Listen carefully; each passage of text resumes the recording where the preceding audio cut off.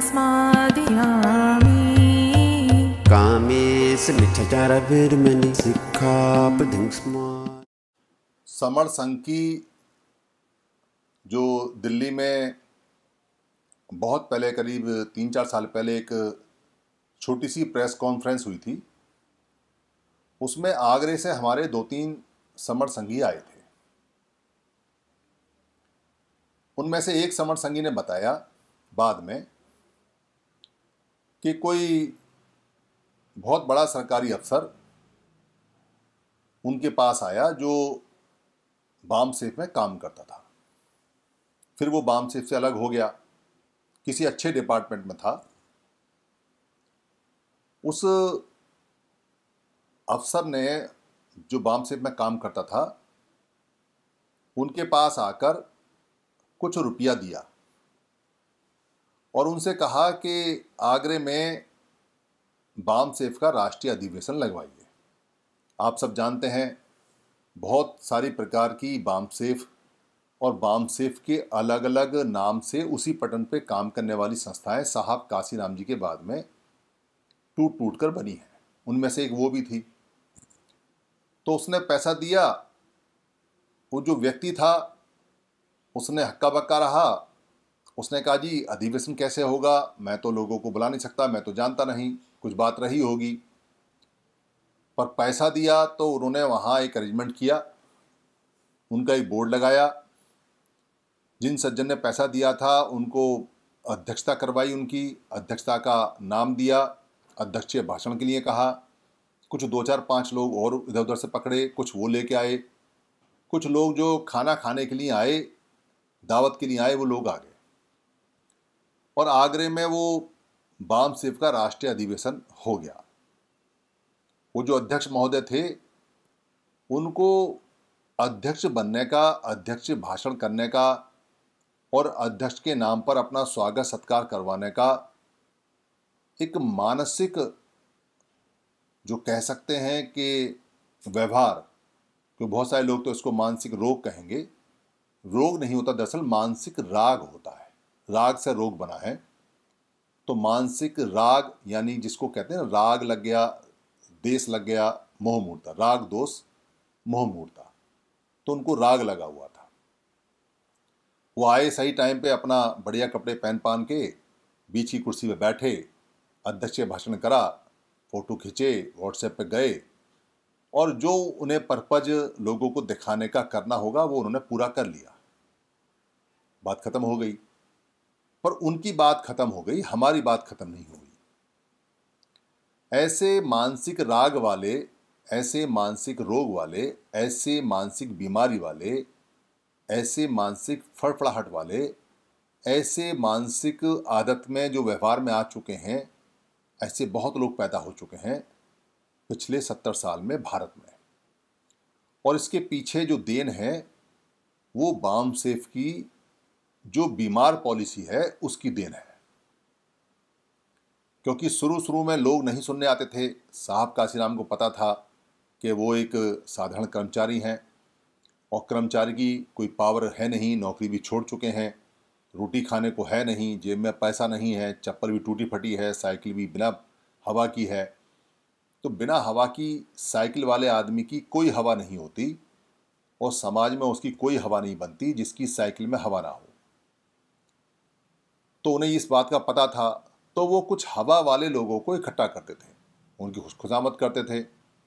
आप आओ भाई, समाज बीमार है, ये है, मैंने एक कार्यक्रम लगाया है। कार्यक्रम में आना, मैं आपका भाषण कराऊँगा, आपका अध्यक्षीय भाषण होगा, आपका विशिष्ट अतिथि में भाषण होगा, आपका मुख्य अतिथि में होगा, आपका स्वागत होगा, आपका सत्कार होगा। तो समाज में सत्कार, स्वागत और भाषण के लिए जो हवा वाले लोग थे, जिनके नाम के पहले अलंकार हैं या नाम के बाद में अलंकार हैं, वो लोग आते थे। उनको साहब काशीराम दाएँ बाएँ मंचों पर बैठाते थे। उनकी झेलते थे, जो वो बोल रहे हैं वो झेलते थे। और उसके बाद में फिर जो काम की बात कहनी थी, जो सिखानी होती थी, उसको वो अपने अध्यक्षीय भाषण में बोला करते थे। वो काम की बात होती थी। तो औरों की हवा दिखा दिखा कर साहब काशी राम ने हमारे जैसे छोटे मोटे लोगों की हवा बनाने की शुरुआत की, उससे हवा बनी। पर जो दाएँ बाएँ वाले जो लोग थे, जिनको वो लेके आते थे, वो बेचारे किसी काम के नहीं रहते थे। उनको नशा हो जाता था। वो तो बहुत बड़े आदमी हैं, बहुत बढ़िया बोलते हैं, मुख्य अतिथि रहे हैं, विशिष्ट अतिथि रहे हैं, मुख्य वक्ता रहे हैं, विशेष वक्ता रहे हैं स्पेशल इन्वाइटी रहे हैं। तो वो साधारण लोगों से मिलना बंद कर देते थे। और वो जीवन भर विशिष्ट और मुख्य, विशिष्ट और मुख्य ही बने रहते थे। अपने घर में भी, अपने बाहर भी और अकड़ के चलते थे। ऐसे लोग समाज से तो ये नुकसान उन दिनों होता था, पर उठाना पड़ा, क्योंकि साधारण लोगों को सिखाना है तो इन लोगों की कुर्बानी देनी पड़ी तो साहब ने इन लोगों की कुर्बानी दी। पर इनमें से कुछ लोगों को आदत पड़ गई। जिनको आदत पड़ गई, उनसे बड़ा भारी नुकसान हुआ। उन्होंने अपनी अपनी संस्थाएँ बनाकर, अपने अपने संगठन बनाकर या संगठनों के टुकड़े कर कर कर, विभाजित कर कर कर सिर्फ़ इसलिए कि वो अध्यक्षता भाषण करें, वो अध्यक्ष रहें, वो मुख्य भाषणबाज रहें, मुख्य भाषण करता रहें। इसलिए वो अलग अलग टूटते चले गए। लोग चाहे भले सामने बीस बैठे हों या पचास बैठे हों, चाहे जेब से पैसा खर्च करना पड़े, चाहे घर मकान बेचना पड़े, पर अधिवेशन लगना चाहिए, वो भी राष्ट्रीय और बंदा राष्ट्रीय अध्यक्ष बनेगा और फिर अध्यक्ष भाषण करेगा और डेढ़ दो घंटे से पहले हटेगा नहीं, चाहे कुछ हो जाए। पैसा खर्च किया उसने, वो क्यों हटे? और जिसको खाना खाना है, वो सुने। और जिसको खाना नहीं खाना है, वो चला जाए। तो लोग खाने के इंतज़ार में डटे रहते थे कि खाना मिलेगा तो खाने में तीन तीन बज जाया करते, तीन, साढ़े तीन, चार। अध्यक्ष भाषण दो घंटे का। दो बजे तक तो वो फालतू के भाषण सुने जाते थे, फिर वो अध्यक्ष भाषण अपने करता था तो चार बजे खाना मिलता था। तो भूखा समाज खाने की वजह से रुक जाता था, सुन लेता था। कुछ काम की बातें मिल जाती थी, इसमें कोई शक नहीं। ये बीमारी हमारे ही जो समण नेता हैं, जो अभिनेता हैं, जो मालिक हैं अपने अपने संगठनों के, उन्हीं में पाई जाती है। और कहीं नहीं है। और कहीं तो इतने ज़्यादा कार्यक्रम लगते भी नहीं। और कहीं इतने ज़्यादा सम्मेलन होते भी नहीं। और होते हैं तो उनके तरीके से, कायदे से होते हैं। पर यहाँ एक कमाल की बात है, इस मानसिक बीमारी का कि बंदा खुद तो संगठन बनाएगा। खुद अपने रिश्तेदारों को, दाएँ बाएँ लोगों को संगठन में रखेगा। खुद ही पर्ची बनवाएगा, खुद पर्ची काटेगा या जेब या जेब से पैसा देगा, या इकट्ठा करेगा। खुद ही जगह तय करेगा, खुद ही कार्यक्रम लगाएगा, खुद ही सब पर्चा बनाएगा, सारे काम करेगा, लोगों को बुलाएगा और फिर अपने ही लोगों से कहेगा कि मेरा स्वागत करो। तो अपने ही कार्यक्रम में जो उसने खुद पैदा किया, खुद बनाया खुद उसका मालिक है और लोगों से ये नहीं कह सकता ना, इतनी शर्म तो बाकी है कि मैं इसका मालिक हूँ तो मेरा स्वागत करो। तो अपने ही लोगों से कहता है, अब माननीय फलाने हमारे राष्ट्रीय संस्थापक का स्वागत होगा। अरे भाई, राष्ट्रीय है, संस्थापक है तो तू स्वागत क्यों करवा रहा है? ये कौन सी बीमारी पाल ली है कि तेरा ही संगठन है, तेरे ही लोग हैं, तेरे ही कार्यकर्ता हैं और तू उनमें ही स्वागत करवा रहा है? ये कैसे मानसिक बीमार लोग आ गए? ये कैसी मानसिक बीमारी है कि आदमी स्वागत सत्कार के बिना चालू नहीं होते, उसका मशीन चालू नहीं होती, वो काम ही नहीं करता। ये बीमारी बहुत ज़्यादा बढ़ चुकी है। इतनी ज़्यादा बढ़ चुकी है कि हर आदमी टोपी पहना रहा है।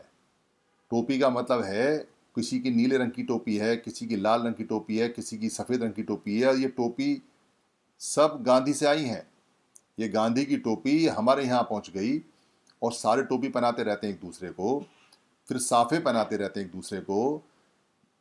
फिर होलसेल मार्क होलसेल मार्केट से पचास रुपए की सफ़ेद चादर आ जाती है।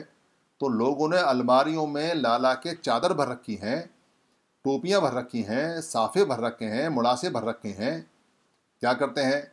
कोई भी आदमी आता है, एक टोपी उसे पहनाते हैं, दूसरी टोपी खुद पहनते हैं और फिर उसके व्हाट्सएप पर फ़ोटो डालते हैं। एक गमछा उसे पहनाते हैं, एक गमछा खुद पहनते हैं। खुद उसको कहते हैं, टोपी पहना। वो लेके नहीं आया। कई तो ऐसे मानसिक रोगी हैं कि जब तक इस तरह का स्वागत ना हो, उनको स्वागत लगता ही नहीं। और ये बीमारी मीडिया में भी आ गई है। जो ये दलित मीडिया अपने आप को चिल्लाता है, सौ के आसपास ये लोग हैं दिल्ली में, औरों का तो मुझे पता नहीं। तो जो इनको बुलाते हैं, वो इनको खाना खर्चा देते हैं। खाना खर्चा इनका जायज़ है, क्योंकि इतनी दूर से आते हैं, जाते हैं तो उन्हें खर्चा तो चाहिए। कोई नॉमिनल दे देता है, कोई ज़्यादा देता है। पर खाना खर्चा के अलावा ये उनको मंचों पे बुला बुला के टोपियाँ पहनाते हैं। ये टोपियों की जो आदत है, यहाँ तक पहुँच गई है कि जिस आदमी से काम निकालना होता है, उसको टोपी पहना देते हैं। और अगला भी टोपी पहन के और गमछा लेके बड़ा मस्त है, बड़ा खुश है। ये जो मस्त लोग हैं, ये जो खुश लोग हैं, ये जो टोपियाँ पहन के घूम रहे हैं, इन्होंने पूरे समाज में सत्तर साल में सारे अधिकार गंवा दिए। सब टोपी पहनने में लग रहे, गमछे पहनने में लग रहे, चादर उड़ने में लग रहे फूल माला पड़ाने में, पहनने में लग रहे। किसी को ये होश नहीं है कि अरे पहन क्यों रहे हो इनको? तुमने कौन से तीर मार दिए? कौन सा तुम अधिकार वापस लेके आ गए? कौन सा अधिकार तुमने बचा लिया? कौन सा काम किया है? सत्तर साल में एक संगठन भी अगर अपने कार्यक्रम में, पूरा उद्देश्य में पूरा हुआ हो तो बता दो। आप एनालिसिस कर लेना, पिछले सत्तर साल में उनतीस लाख संगठन हैं। और उनतीस लाख संगठनों में जिन्होंने अपने संविधान बनाए हैं, उनके संविधान में उनके उद्देश्य दिए हुए हैं, पढ़ लेना। चाहे कोई पार्टी हो, चाहे कोई संस्था हो, चाहे कोई संगठन हो, उनका किसी का भी एक भी लिखित प्रॉमिस या लिखित उद्देश्य पूरा नहीं हुआ और ज़िंदगी में होगा भी नहीं। क्योंकि संगठन अपने उद्देश्य को प्राप्त नहीं करता कभी भी। संगठन का उद्देश्य होता है बस अपने आप को मेंटेन रखना और अगर उसके टुकड़े हो जाएँ तो फिर उस टुकड़े को मेंटेन रखना और फिर उसके भी टुकड़े हो जाएँ तो उसको टुकड़े को भी बनाए रखना। संगठन का किसी भी हालत में लोगों से कोई लेना देना नहीं है, क्योंकि संगठन को व्यक्ति जो बनाते हैं, वो उसके मालिक होते हैं। लोग नहीं बनाते उसको। वो लोगों के पास चंदा लेने ज़रूर जाते हैं। पर वो बनाए व्यक्ति ने होते हैं इसलिए वो समाज के प्रति उत्तरदायित्व तो नहीं होते, पर संघ लोगों के द्वारा बनता है। और लोगों का होता है, और लोगों के लिए होता है। इसलिए संघ की गारंटी होती है कि उसके जो परिणाम है वो सौ परसेंट आते हैं, सौ परसेंट से ज़्यादा आते हैं। देर सवेर हो सकती है, वो आपके ऊपर है कि आप कितनी तेज़ी से जुड़ते हैं और कितनी तेज़ी से काम करते हैं, पर संघ के उद्देश्य ज़रूर प्राप्त होते हैं। दुनिया में जितने भी संघ हैं, आप अगर देखोगे तो उन्होंने सबने अपने उद्देश्य प्राप्त किए हैं और जितने भी संगठन हैं, उनका कोई उद्देश्य प्राप्त नहीं हो सकता, ये उनकी नियति है।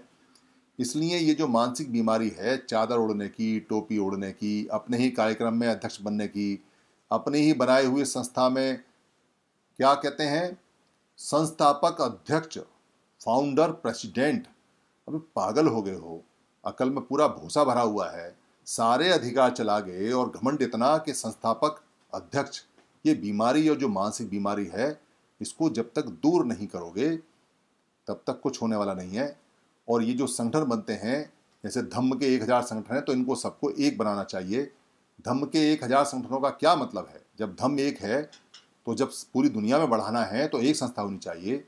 राजनीति में हज़ारों संगठन है, क्या मतलब है? कोई अलग अलग वोट देने आएँगे क्या आदमी? तो एक होना चाहिए। ये जो सामाजिक संगठन है अलग अलग होने का क्या मतलब है? एक सामाजिक संगठन सफिशियंट है तो एक होना चाहिए। ये जो लड़कों के दल बल हैं तो अलग अलग होने की क्या ज़रूरत है? छात्रों का या लड़कों का एक संगठन होना चाहिए। ये जो महिलाओं के संगठन है अलग अलग है, इसका क्या मतलब है? तो महिलाओं के संगठन एक होने चाहिए। तो ये जितने अंबेडकर भवन, कबीर भवन और बुद्ध बिहार और ये जितनी भी जगह बनी हुई हैं, इनका अलग अलग क्या मतलब है? ये सब एक जगह होने चाहिए और फिर ये सारे के सारी चीज़ें एक जगह होनी चाहिए, संघ के अंदर आनी चाहिए और संघ ही इनको चला सकता है। यही तरीका है, यही संविधान में दिया हुआ है, यही बाबा साहब ने लिया हुआ है और जिनका आप विरोध करते हो वो भी इसी तरीके पर चलते हैं। उनके जो संगठन है, वो सब संघ के अधीन होते हैं। संघ के बिना मर्ज़ी के उनमें कोई पत्ता नहीं हिलता, पर हमारे जितने संगठन हैं, वो सब आज़ाद और मस्त हैं। वो ठीक ऐसे हैं जैसे जंगल के अंदर भेड़ बकरियाँ घूमती रहती हैं और वो अलग अलग चढ़ती रहती हैं और शेर आता है, कभी कोई सी बकरी को उठा के ले जाता है और चीता आता है, कभी कोई से भेड़ को उठा के ले दिया जाता है और फिर कहीं से कोई टाइगर आता है, कहीं से कुछ आता है, ये सब भेड़ी आते हैं तो अलग अलग भेड़ों को उठा के ले जाते हैं। सारे मारे जाओगे, अगर संग में नहीं आए, सारे बच जाओगे, अगर संग में आए। जो संग में रहता है, वो शिकार करता है, और जो संग से बाहर रहता है, उसका शिकार होता है। जो हिरन हैं, जो संग में रहते हैं, शेर उन पर शिकार नहीं करते, पर जैसे ही हिरन अलग होता है, शेर उस पर शिकार करता है और शेर अगर अकेला घूमता है तो कुत्ते उसको फाड़ देते हैं। शेर अगर झुंड में रहता है तो ही सुरक्षित रहता है। चाहे बेशक आप कितने बड़े शेर हैं, पर जब तक झुंड में नहीं रहेंगे, आप सुरक्षित नहीं हैं, अकेले घूमेंगे तो कुत्तों का झुंड आपको फाड़ देगा। फिर आपके पास में चिल्लाने का वक्त भी नहीं बचेगा। संघंग नमामि संघ में आइए। धन्यवाद।